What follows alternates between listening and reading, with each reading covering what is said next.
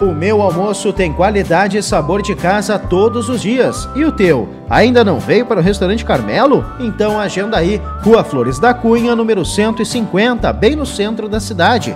E se quiser, peça sua vianda por telefone 99799 8770.